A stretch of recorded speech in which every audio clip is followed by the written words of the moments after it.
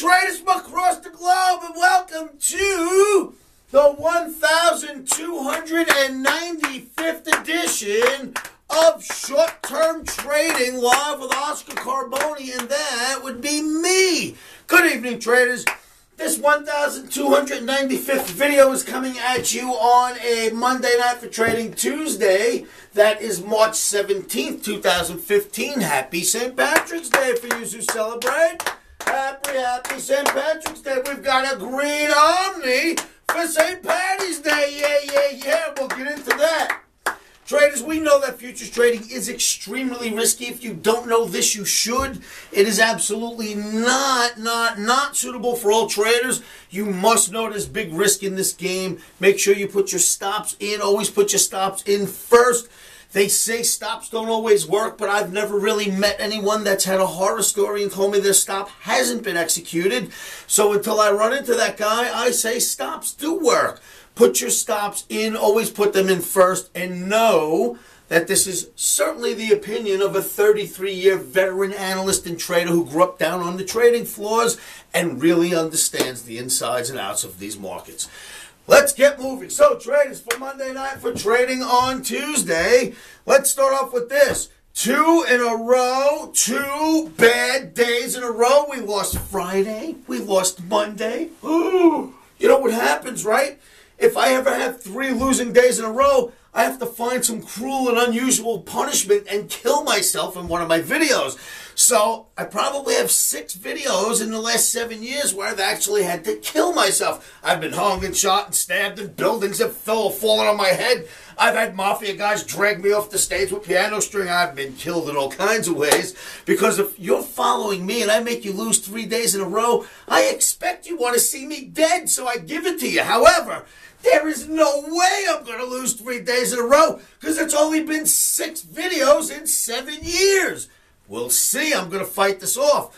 Anyway, so two in a row. Do not, do not, do not count out the Omni. It is a very, very, very consistent machine. The Omni almost never loses three days in a row. You follow those Omni trades coming into Tuesday. Then we've got this. Aunt Yellen to the rescue. So we've got the Green Omni for St. Patty's Day. Chart Masterpiece and Aunt Janet Yellen to the rescue will come bail us out no matter what's going on, most likely in the markets when she speaks on Wednesday. Then we've got something extremely interesting. It's USA versus Europe, and something I would like to share with you traders. This weekend's Financial Times, right? The Financial Times, if you trade, you should be reading magazines on the weekends like this one, newspapers. And it says, and let me just break out my glasses so I can get this right for you traders who keep calling the damn top. All right, the top's in, the top's in, the top is in. That's what we hear about. So let me help you out here. All right, so I got my glasses on now. I can read this thing, and it says, investors pour a record amounts of, uh, excuse me, investors pour record amounts into European shares in response to QE. You see the headline? Do you know how much? Here's what happened. Exactly these figures. $35.6 billion has gone into Europe, into their securities, at the exact same time, reading the paper now with my glasses, at the exact same time, $33.6 billion has come out of U.S. securities.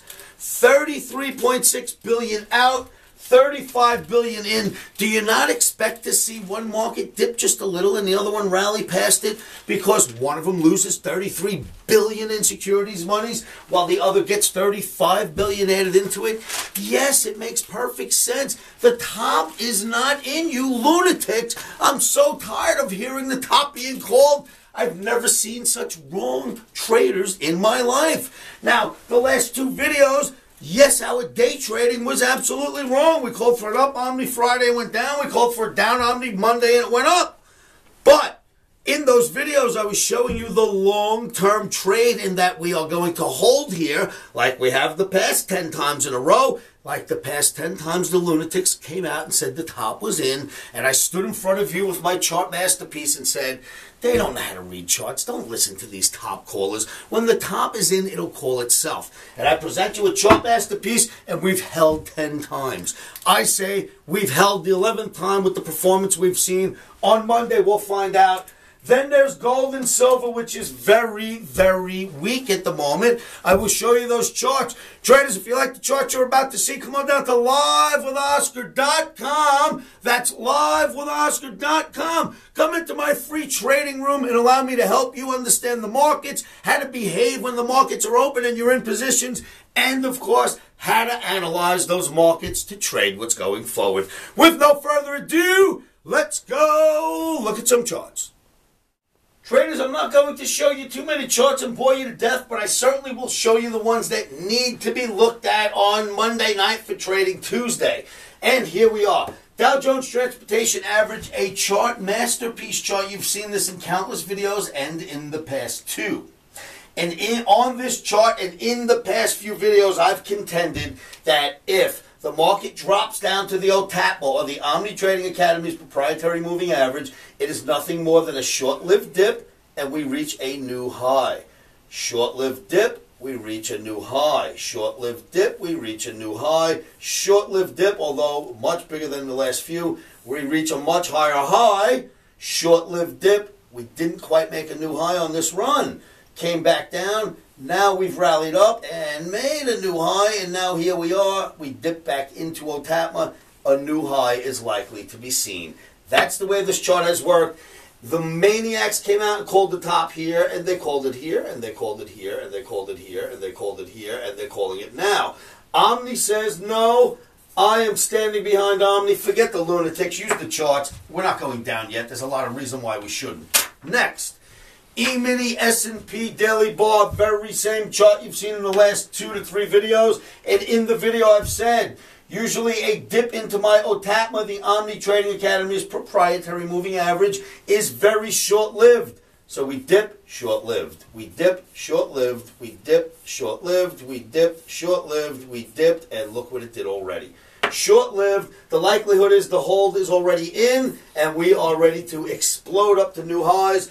These are the very same charts I've been keeping you in tune with for the past two videos, so you may want to give me a little heat for those quick day trades, but I had my eye on the ball and never lost it the whole time. I never take my eye off the prize. Here we go, next trade. Omniacs, now we go out to the weekly chart. We just looked at the dailies. S&P weekly chart. Does this chart look familiar? Of course it must to you at this point. Another chart masterpiece. You've seen it in many, many videos, especially in the last few. And once again, note the average, how well it holds. Note that when we get down to it, we rally out, we get down to it, we rally out, down to it, rally out, down, rally out, boom, boom. Way down, rally out, rally out, rally out. We just, just about hit it last week, turned around this week, and went up here so far. Last week went this way, turned around now and is up here. That's likely hold number 10. The likelihood is we get rid of this question mark by tomorrow and turn this into a 10. For now, we'll leave it alone, right? We won't do that yet. But very, very likely that has already held. The average has held once again. And bravo so far for technical analysis, keeping us in tune with the larger picture. Let's move forward. The next weekly chart I wanted to show you is the Dow Jones Transportation Average. You saw the daily a moment ago. Here's the weekly. Note the black average. Note the, the amount of penetration through the black average. Almost never. Down just a little, barely through, barely through, barely through it. Once again, once again, barely through it. Even when the massive drop came in other markets, you barely went through that average, barely touched it just about went through it and popped right back up, and here we sit right now. That's another hold like this, this, this, this, this, this, this, this, this. This will be considered another one. These are weeklies now. They look just like the dailies. They're holding really well. And look at how this average runs up the line almost like it's a parallel average to this line up here, which is basically just a parallel channel. This is an amazing, amazing chart. You got to love what that looks like for now. If it turns around and breaks down, we'll deal with it for now. I've got to call what I see, and what I see is a fantastic hold. Next, here's the chart that goes with the article, traders. Now, here's what I'm trying to explain. The DAX just had $35.6 billion poured into it. The E, the E-mini S&P just had $33.6 billion taken out of it, given over to the DAX. When that happens, you must understand that you're going to get a little bit of a downdraft in this market while the other one goes up. However, they will both go up together, like you see here and here. That's exactly what's starting to happen now. That is what should happen. QE was passed over to Europe, right? QE went to Europe. Europe will now run with the ball. EU and US will go together. That's the way this works. Wonderful, wonderful looking chart. This is the explanation. That's why I put on those silly glasses. It's very clear to see when you look at it on the chart. Forget about reading the words on that paper. And then we've got this. The gold traders. I've showed you this chart in so many videos now, I cannot count them. We started showing you this chart up here, telling you the top was in officially. Then it came down, and we said, now there's a death knell. Forget about the top coming in at 1680. The death knell comes in at 1450. You've got the, the weekly chart below the 200 bar. And then we started showing you, of course, the pennant that looks a lot like this one. It's not quite a pennant, but it's more of a wedge. Looks a lot like this one. And I showed you bounce one, bounce two. After bounce three, I've got those three arrows, and this dump takes place, right? Well, here we are, bounce one, bounce two. This is bounce three. I've got those three arrows. I expect that dump to start happening just like it did here. This and this are one and the same. You've got to love what you're looking at there. How do we confirm whether the gold looks bearish? Let's look at this wonderful silver chart.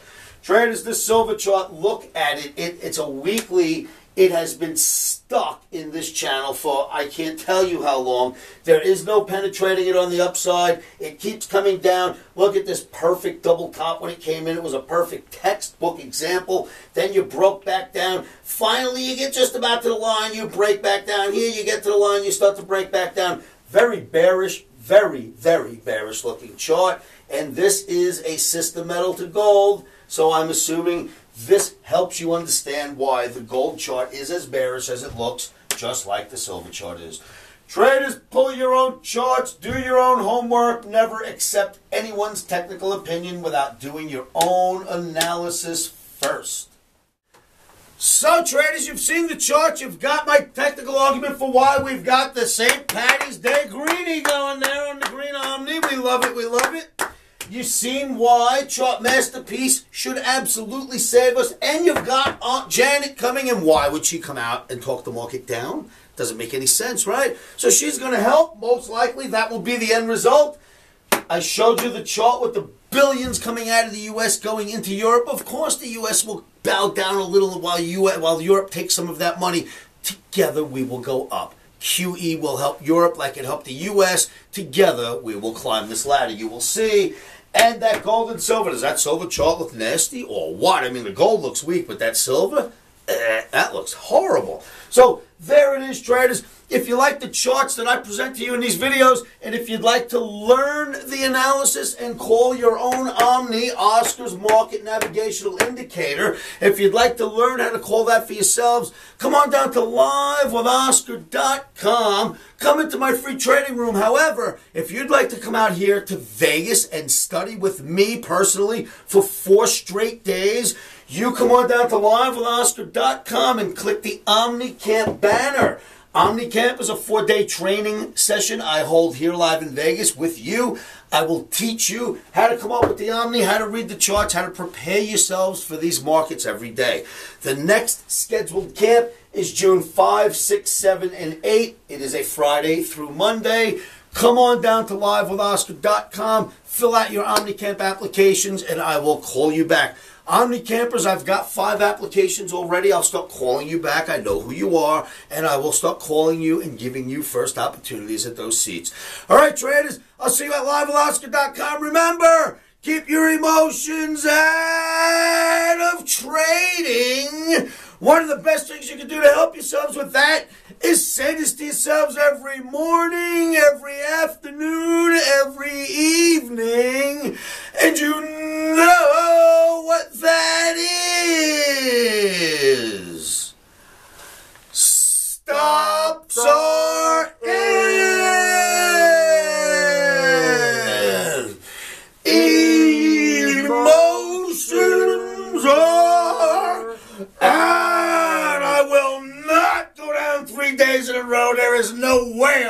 In tomorrow night's video.